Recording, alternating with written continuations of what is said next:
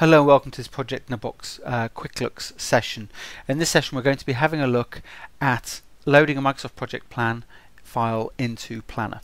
So first thing I need to do is open Planner um, and then uh, I can ignore the data that's here because I'm going to create a new file with the data I'm going to import. So I'm going to come up to Import Export Tasks two big options here.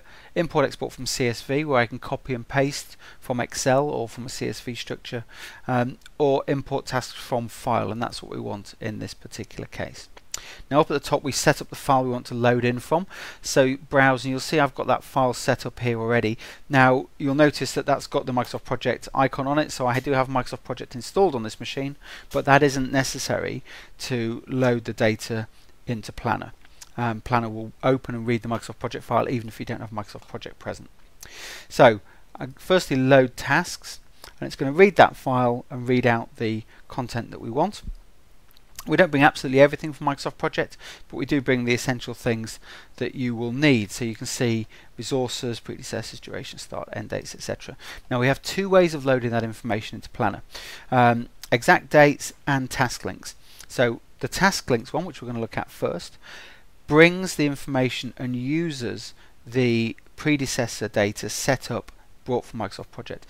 Now the issue about this is that Microsoft Project has four different dependency types and Project in a Box has one. We use the most common uh, where one task finishes and it leads on to the starting of another task, a finish start link.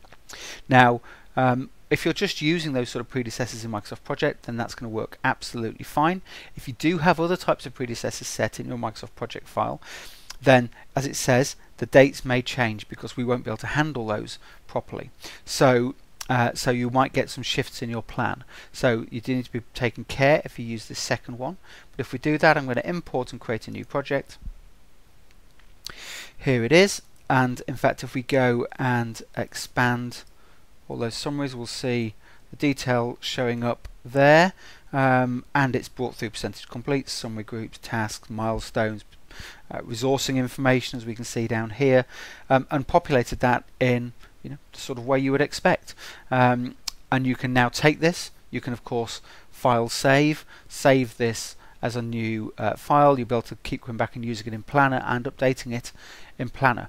Um, you'll be able to add on the Planner features like costs and uh, and resource management, etc., um, and manage your risks and issues in here, and gain calendar and milestone views of it all. So all that stuff's just going to work automatically. Um, so pretty straightforward to do all that. Now, like I say, the only problem is, or the only issue potentially is that if you've used different sorts of predecessors, things may have moved around a little bit. So let's just have a look at the other route, which is to import export from file. We'll do the same thing again, but this time I'm going to use exact dates.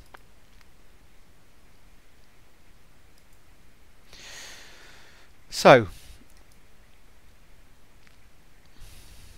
this time we've got the dates as they came out of Microsoft Project. So Microsoft Project uses its, uses its own mechanism in the file you were given to schedule the start and end dates of all those tasks. Um, and we've just taken those dates. We haven't brought any of the links at all, just in case anything throws it out. We don't want to recalculate any of that. So if, if a supplier has sent you a Microsoft project file um, and you want to be able to see what dates things were supposed to start and finish, this is definitely the best way of doing that because it's going to mimic exactly the dates that were in that Microsoft project file. It still shows you the resources and percentage completes and descriptions that might be in those tasks, etc. Um, but you're not getting the dependencies. Now, of course, if you want to move forward and you're essentially transferring out of Microsoft Project into Planner, you don't intend to go back to Microsoft Project at all. You probably do want the dependencies um, because you'll want to be able to move tasks around and you know um, use it as an ongoing live plan. So for a sort of review process, definitely the best bet is to do the second mode um, where we just use the dates.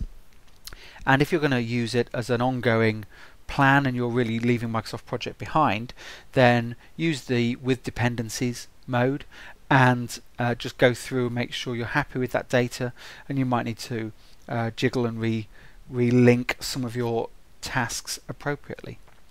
But that's a pretty straightforward process. I think you'll um, you'll agree to load the data through from Microsoft Project to Planner. Thank you.